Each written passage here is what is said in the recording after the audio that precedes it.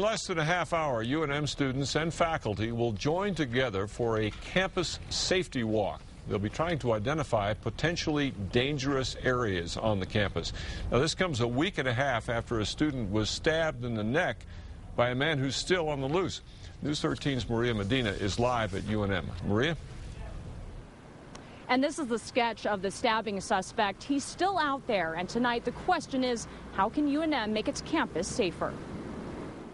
Uh, someone got stabbed in the neck here at the anthropology building. This is all UNM police have to go on a sketch of the man who stabbed a student in her neck, then took off with her cell phone. We're beefing up security all over campus. UNM police say they're following up leads, but wouldn't say whether they focused on a suspect. Tonight, nearly 200 students and faculty members organized a campus safety walk to try and prevent another crime like last week's. Definitely a good idea, I'd say. But the walk tonight isn't just to remind students about how to be safe on campus. Is the lighting in the right place? Is there enough lighting? Eliseo Torres, vice president for UNM Student Affairs, organized the walk.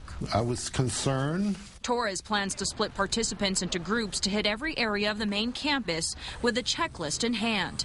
They'll look for places that need safety improvements, like places where someone could be lurking or where there's poor lighting, like the anthropology building where the student was stabbed. Is it pretty dark in that area?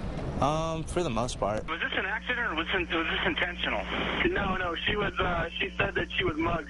Torres says this is just the beginning of safety improvements at the university. And I hope that never happens again on this campus. And they'll meet at Saggio's in the Student Un Union building at 6, so there's still time if you want to join. The walk should take about an hour.